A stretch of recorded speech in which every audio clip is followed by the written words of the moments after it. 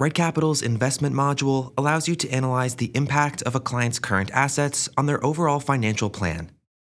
Every tab within this module is designed to pull back the curtain on a client's investments in different ways, from their current allocation to their future allocation path to their tax diversification and much more. In this training video, we'll review each section of the investment module in detail with an emphasis on best practices and other important tips. The first section of the investment module is the Asset Allocation tab. This area provides pivotal insight into a household's asset allocation as of today. This tab is divided into two pages Summary and Detail.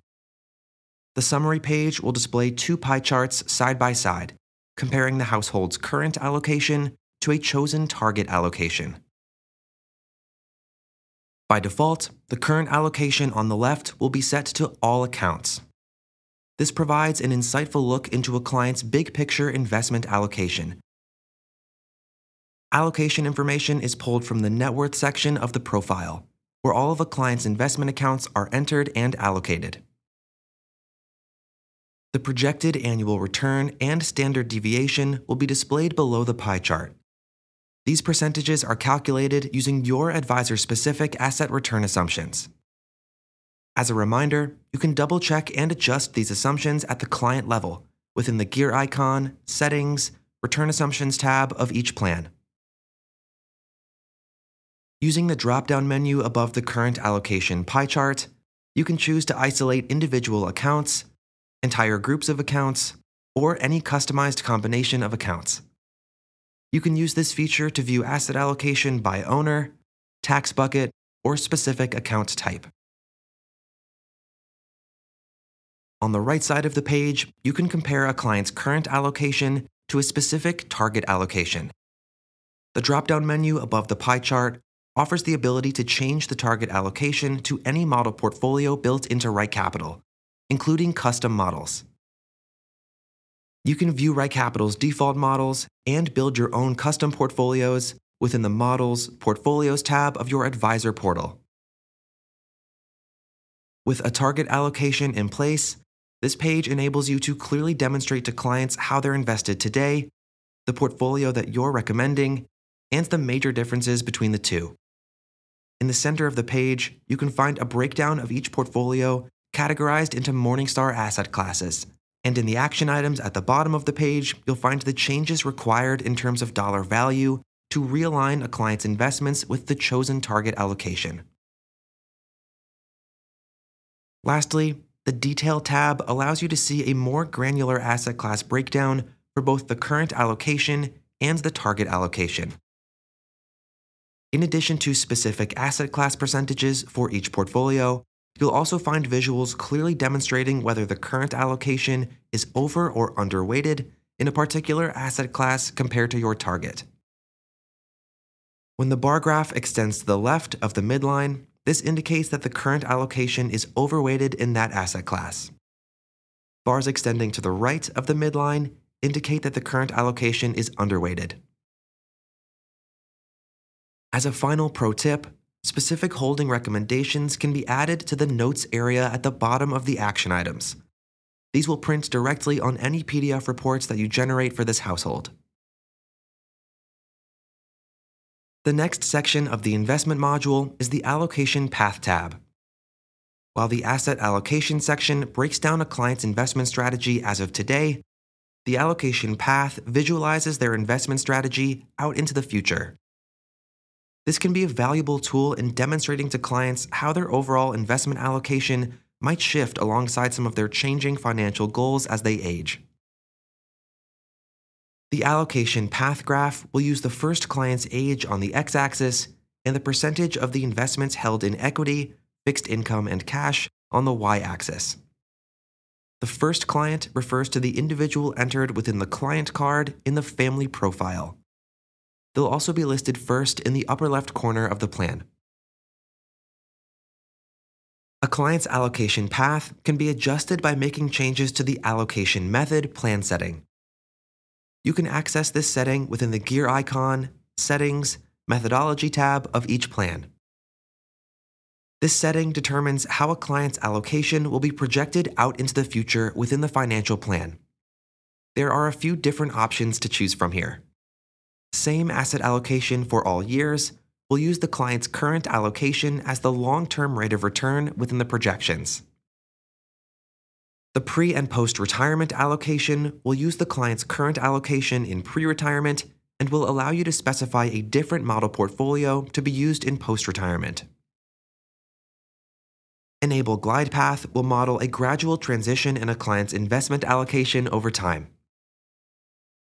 Choosing a different allocation method will result in a change to the client's allocation path, both within the Investment Module Allocation Path tab as well as within the client's future looking retirement projections.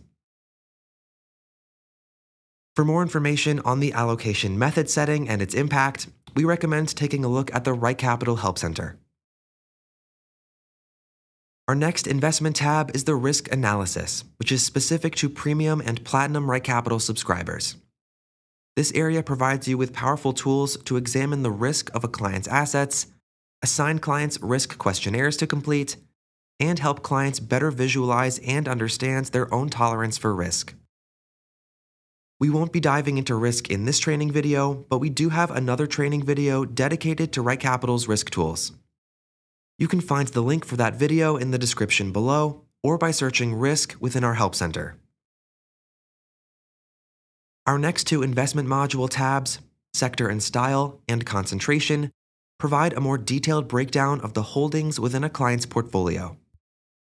Before diving into these two tabs, it's worth mentioning that there must be position level account data present within the client's investments in the profile net worth area in order to use these tools. In other words, manually entering a client's investments by total balance will not feed any information into these tabs. When entering accounts manually, you can use the Enter Holdings slash Asset Class option to build out accounts with specific positions linking accounts using account aggregation, or an advisor level integration will also pull in position level account data. All of these methods will enable you to use the sector and style and concentration tabs. Let's start with sector and style. This is a visual tool that empowers you to efficiently diversify a client's portfolio by comparing it to a broad market index. More specifically, this is the Vanguard Total Stock Market Index, which aims to deliver well diversified and accurate exposure to the entire US stock market. The client's investments are shown in gray, and the market index is shown in blue. You can hover your mouse over the equity sector chart to view specific percentages for each sector. Switching to the Equity Style subtab will display two equity distribution grids, comparing the client's portfolio to the market index. Within both subtabs, you can click into the action items at the bottom of the page to see the most overweight and underweight categories in the client's portfolio. The Concentration tab will highlight any concentrated positions within a client's investment portfolio, alerting you to substantial downside risks within the plan. This includes both investment accounts as well as stock plans. By default in RightCapital, a concentrated position is defined as any position which is equal to or greater than 5% of the total portfolio value. You can adjust the concentration threshold slider in the action items to customize the percentage used in the analysis. Beneath this slider, RightCapital will display the steps needed to eliminate the concentrated positions based on your chosen threshold.